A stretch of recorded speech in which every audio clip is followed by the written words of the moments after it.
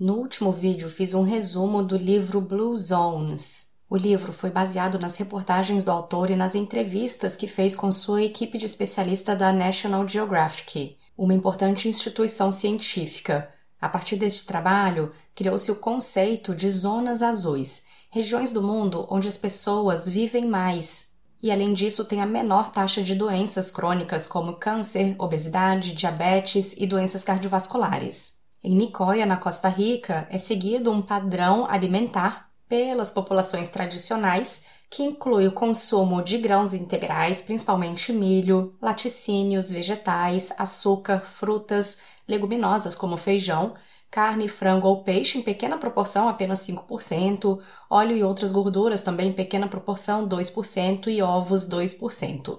No arquipélago de Okinawa, no Japão, a batata doce é o principal carboidrato consumido, 67% da dieta seguido do arroz, 12%, outros vegetais, 9%, leguminosas como soja, 6%, outros grãos, 3%, carne, peixe ou frango em pequena proporção, 2% e 1% de outros alimentos. Falta um comentário sobre a dieta mediterrânea. Nesse caso, os pesquisadores estudaram Icária na Grécia, e vemos que lá o consumo de hortaliças verdes é bem grande. As hortaliças verdes são fontes de folato da vitamina B9, assim como de outros vegetais, frutas, leguminosas, batatas, azeite, peixes.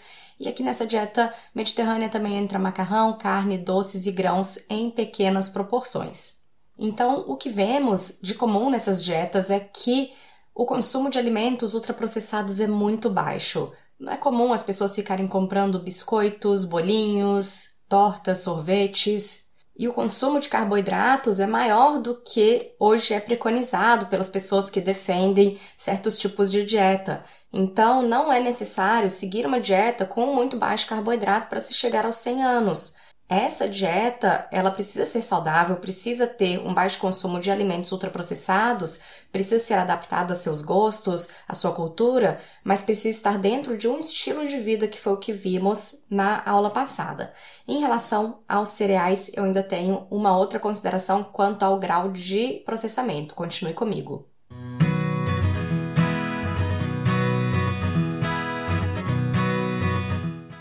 Que é uma dieta restritiva? Uma dieta restritiva é uma dieta que exclui completamente um grupo todo de alimentos.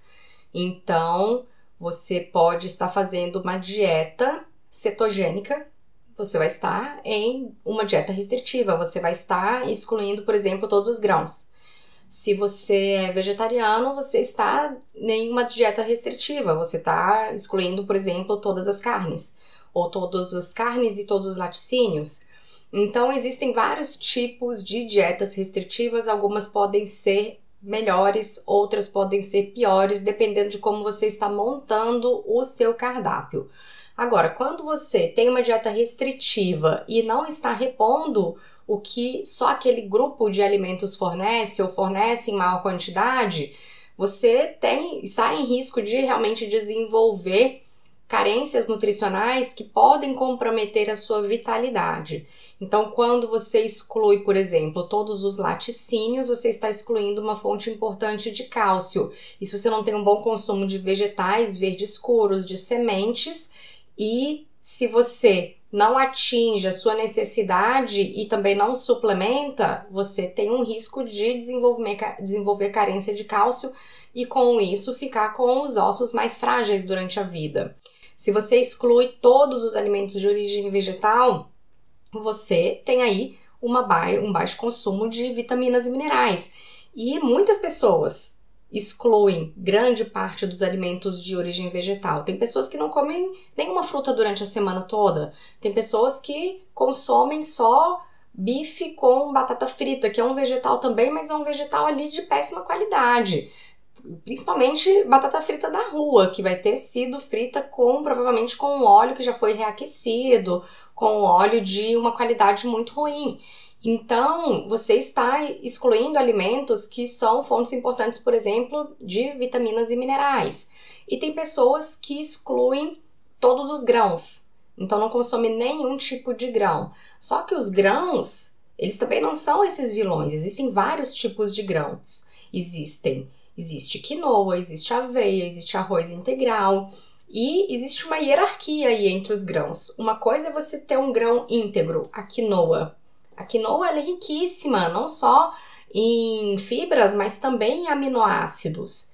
Agora, se você tem, ao invés do grão intacto, como veio da natureza, como arroz integral, como a quinoa, já um grão muito processado, aí você não vai ter os mesmos benefícios, é claro. Então, o ideal não é excluir os grupos dos alimentos todos, mas evitar o autoprocessamento.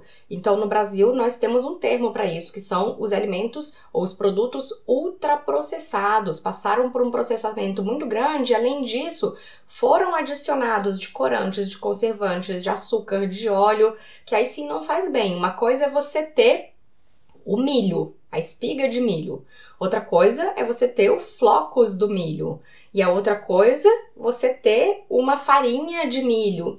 Então, são níveis diferentes de processamento que vão tirando daquele alimento que era íntegro as suas vitaminas, os seus minerais e vão adicionando aquele alimento, por exemplo, ao flocos de milho que as pessoas comem, né, o cornflakes que as pessoas comem como cereal matinal, como alimento de café da manhã, aí vai ser um alimento riquíssimo em açúcar, em alimento, em corantes, em conservantes, em estabilizantes e etc, que o seu corpo não estava preparado para entender.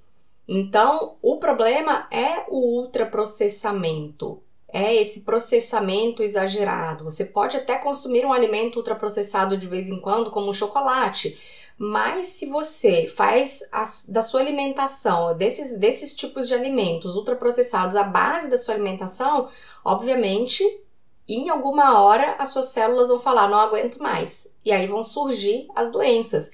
E é importante lembrar que as doenças elas não surgem de uma hora para outra. Existe uma história natural das doenças.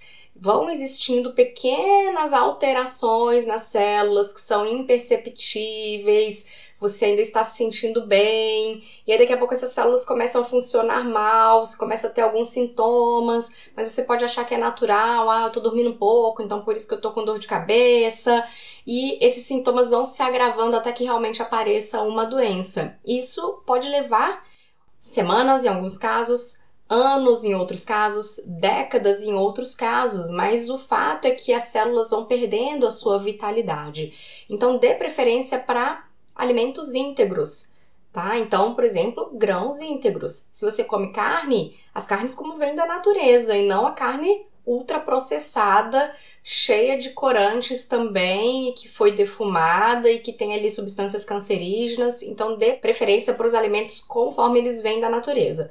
No caso dos grãos, os grãos intactos, então arroz integral, quinoa. Existe algum grau de processamento que ainda seja saudável? Sim, por exemplo, quando você pega flocos de aveia, ainda é saudável. Porém, já vai ter menos fibras, menos vitaminas do que se fosse a aveia intacta. E aí, se você pega farinha, já foi mais processada, então você já perdeu provavelmente mais fibras, mais vitaminas, mais minerais. Quando você pega essa farinha e faz um alimento industrializado, um alimento processado, já perdeu mais ou já foi adicionado de alguma coisa para que aquele alimento dure por mais tempo. Então, uma coisa é você ter o trigo na sua fazenda, você moer aquele trigo na hora e fazer um macarrão. Eu sei que você não tem tempo para fazer isso, nem eu. Mas outra coisa é entender que aquele macarrão que tem lá na prateleira do supermercado e que dura não sei quantos anos, ele tem ali uma série de substâncias que foram adicionadas para ele durar mais e que não necessariamente vão fazer bem ao seu corpo. Então, uma coisa é ter o trigo integral, outra coisa é ter o pacote de macarrão do supermercado.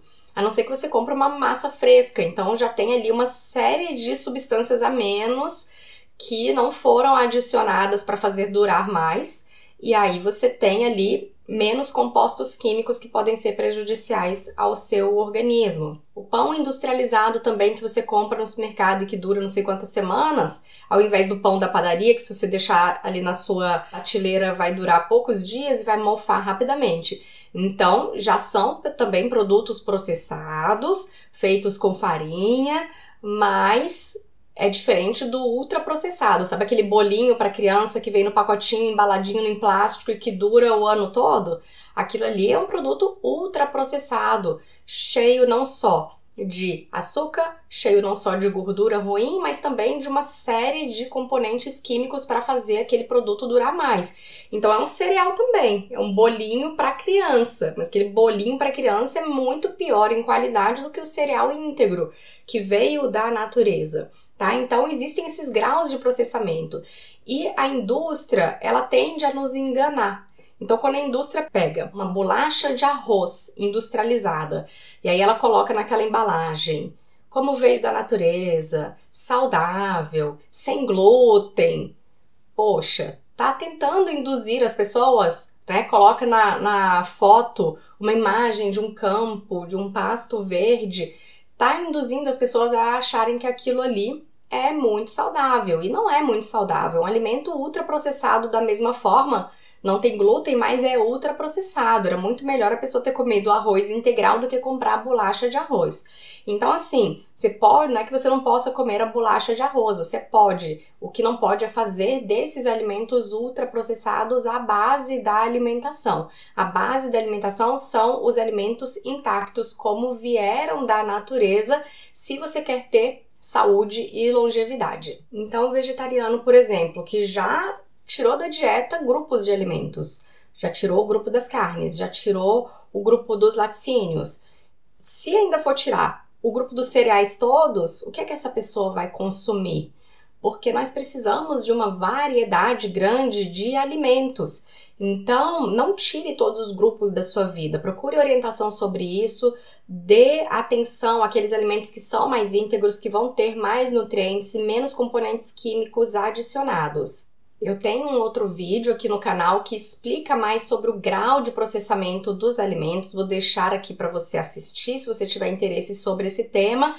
E no próprio Guia Alimentar para a População Brasileira, você tem também a explicação sobre o grau de processamento dos alimentos. É um guia que está disponível gratuitamente na internet, então se puder, tire um tempinho para conhecer.